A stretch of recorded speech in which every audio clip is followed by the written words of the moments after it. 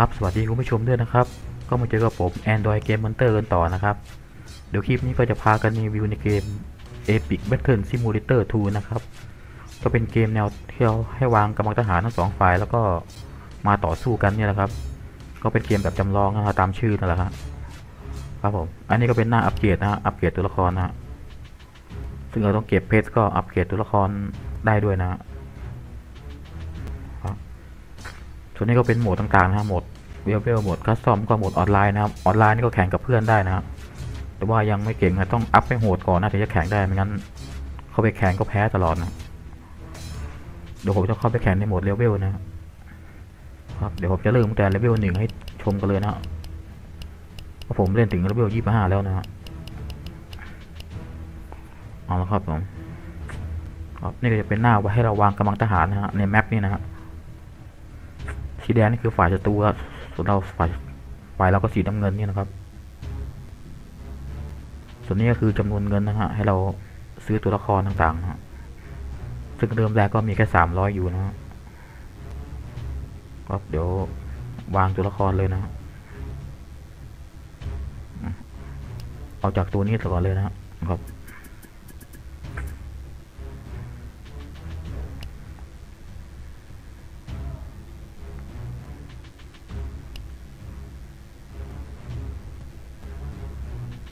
อ่าโอเคครับวางได้แปดตัวนะครบแล้วนะครับเดี๋ยวจะเริ่มสู้กันเลยนะอ๋อนี่ครับ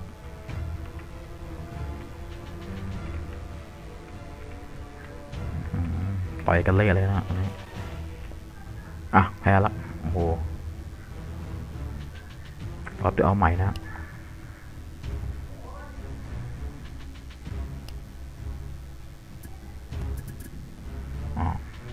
ลองใช้ตัวหอกนี่นะดูดิดูที่สู้ไหวหรือเปล่า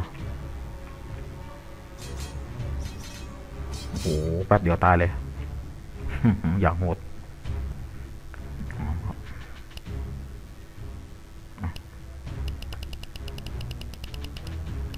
ครับเดี๋ยวไปเริ่มเลเวลสองเลเวลสองกันเลยนะครับ ยิงด่านเยอะเราก็ได้เงินเพิ่มขึ้นนะฮะตอนนี้เป็นห้าร้อยห้าสิบแล้วนะด่านแรกเมื่อกี้ได้สามร้อย เอาทหารตัวนี้ดูนะครับแล้วก็ลูกจ็อบอีกสองคนอโอเค เอาเลย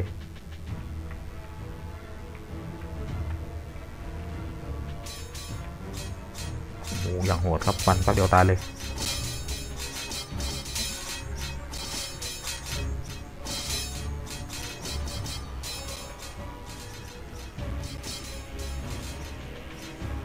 เวลาตายนี่ก็จะมีป้ายหลุมศพนี้ขึ้นมานะครับ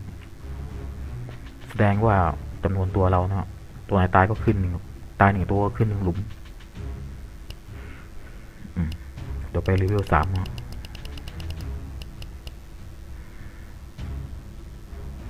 ตังค์นี่เพิ่มมาเป็นหกร้อยห้าสิบแล้วนะครับ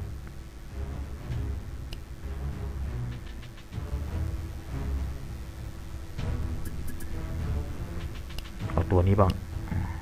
เอาตัวโลเนี่ยสามตัว เอานักธนูเอาหน้าไม้คนหนึ่งนะ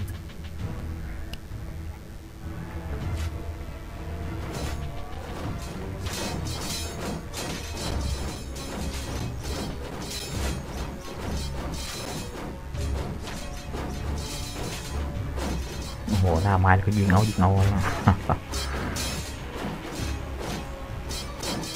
อ๋อเหลือคนเดียวแล้วอ๋อเออเรียบร้อยครับ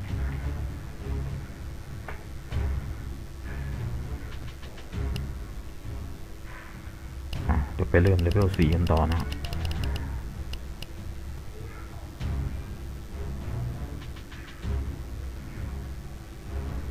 ฝ่ายศัตรูมีม้าเดี๋ยวเดี๋ยวเอาม้าบ้าง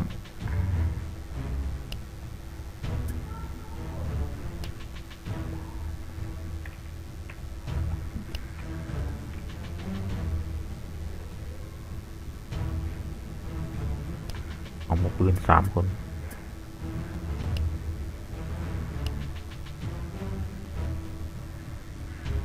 ก็คนหออีกสองคนเอโอเค ไปเลย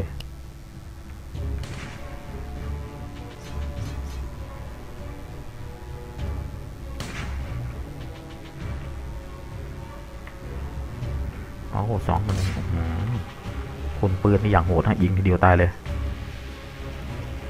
เออเรียบร้อย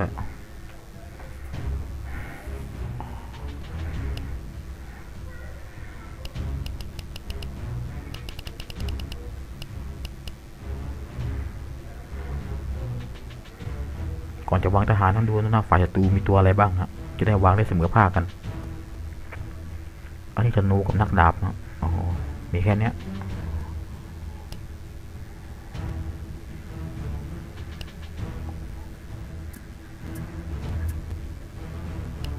เราก็วางบ้างนักดาบ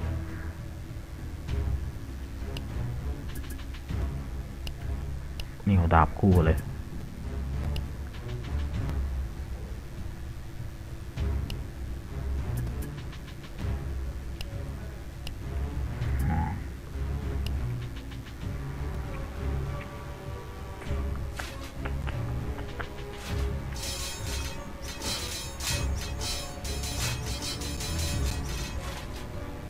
เอาละเหรียญนักธนูแล้วเออ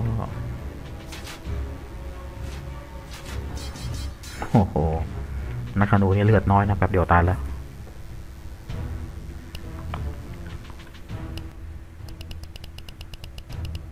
เอาละครับเลเวลหกกันต่อนะครับตังค์ตัวนี้เพิ่มมาเป็น950นะฮะซื้อตัวละครได้เยอะขึ้นนะครับ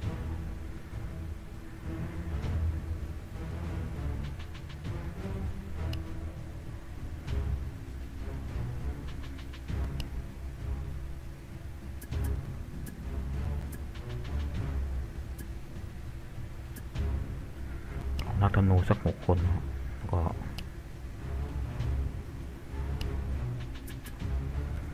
หน่วยโล่หน่วยนักดาบ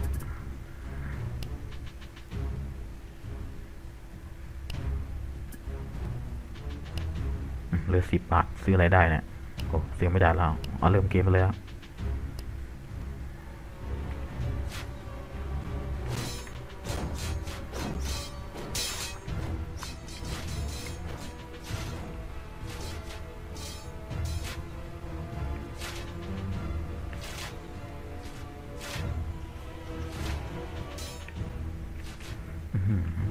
ง่ายได้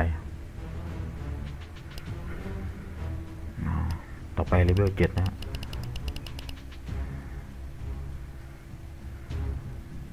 โอ้มีพี่ยักษ์เพิ่มมาคนหนึง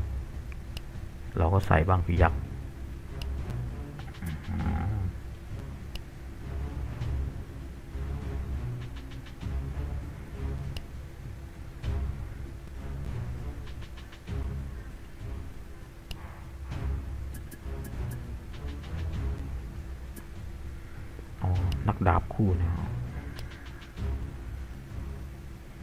เอาหมูธนูสักสองคนอ๋อโอเค เอาไว้นี่คน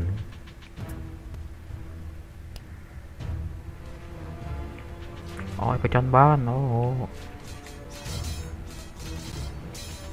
โอ้พี่ยักษ์มาแล้วต้องโอ้โหชก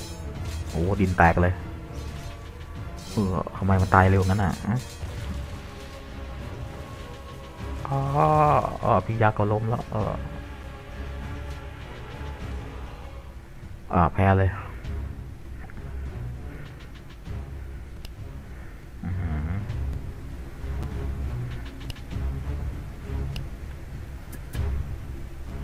โอ้โอ้เกินมาคนนึง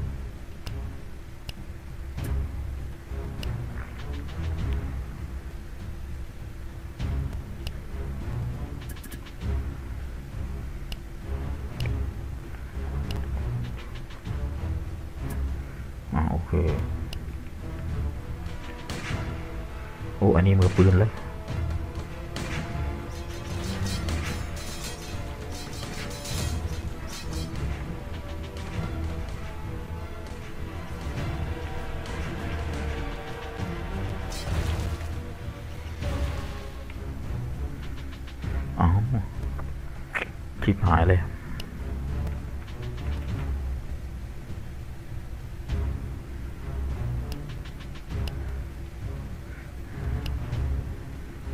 ลองเอานักเวทนี่สิเอาจอมเวทก็ดาบผู้คนหนึ่ง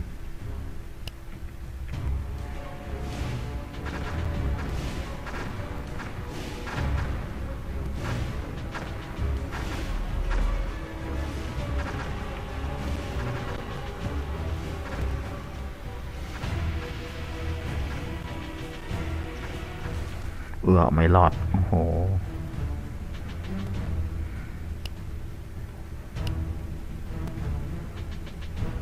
ของมือปืนบ้งอะเกินคน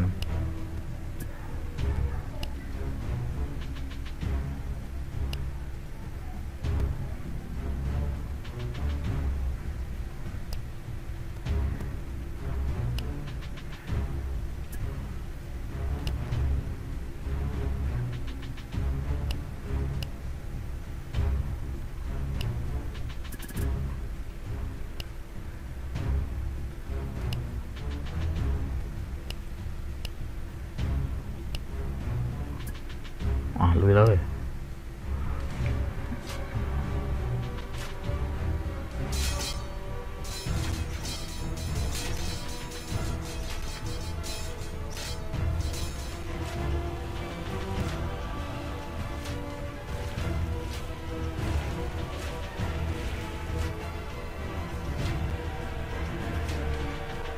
ยักษ์ทำไมมันโหดจังวะ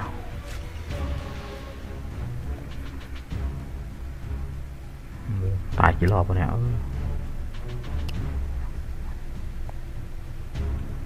อืมโอ้ยักษ์สองตัวเลย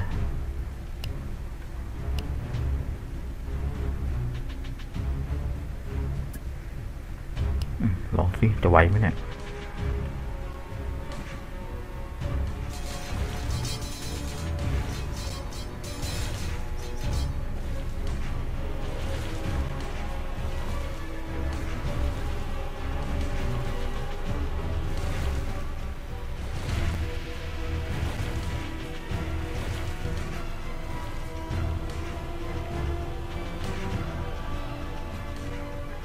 เออทำไมมันโหดงี้วะ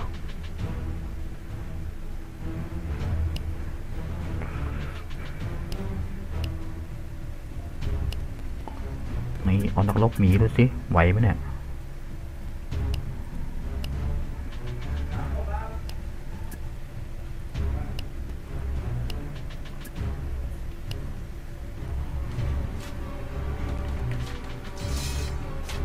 โอ้นักรบหมีประจันบานโอ้ยังโหดเลยนักรบหมี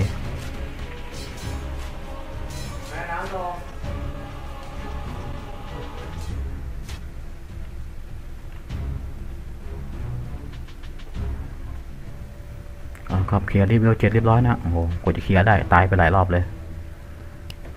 อ้าวเดี๋ยวไปต่อเดวิลแปดกันเลยนะ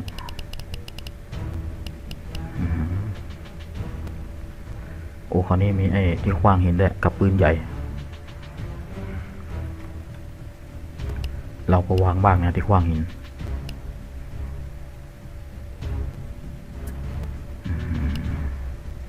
มันปืนใหญ่เราก็ปืนใหญ่บ้างเอาเหมือนกันดูซิมันจะใครจะเจ๋งกันโอ้โอ้โห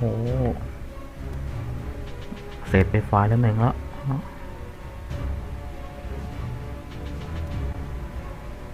โอ้ยไม่ไหวแล้วเ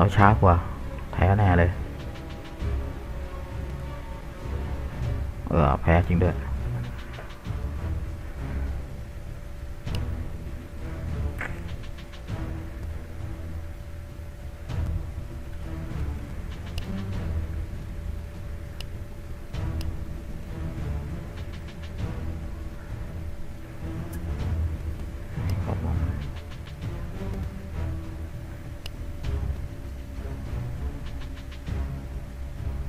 วางให้จอมเวทนะตรงนี้ก่อน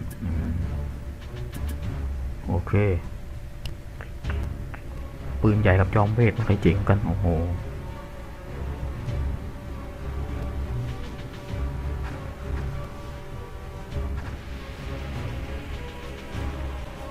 วางไม่เป็นไร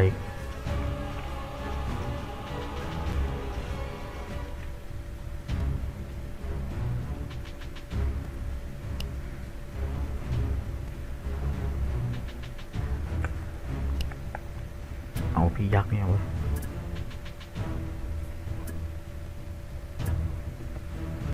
ต้องวางห่างกันฮะ มันจะได้ ยิงเราตายทีเดียวไม่ได้ โอ้โหแป๊บเดียวหรือสองอะเออ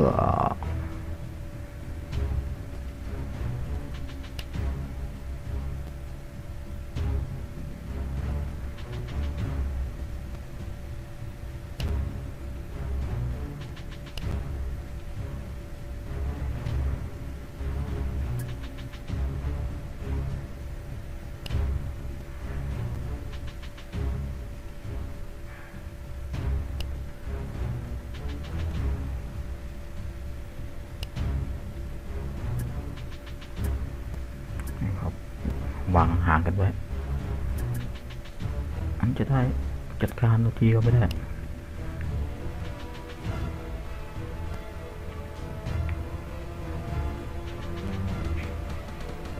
อ่าเรียบร้อยฮะชนะจนได้ โอ้โหเอาครับเลเวลแปดก็เคลียร์แล้วนะครับ เดี๋ยวครับผม เดี๋ยวผมก็รีวิวให้ดูกันชมกันแค่นี้นะครับ ใครสนอยากจะเล่นก็ เข้ามาเล่นก็ได้เลยนะครับก็ผมจะวางลิงก์โหลดไว้ให้ใต้คลิปนี้นะครับ ผมก็ขอลากันไปแค่นี้แค่นี้นะครับ ก็ไปเจอกันใหม่ในคลิปหน้านะครับ สวัสดีครับ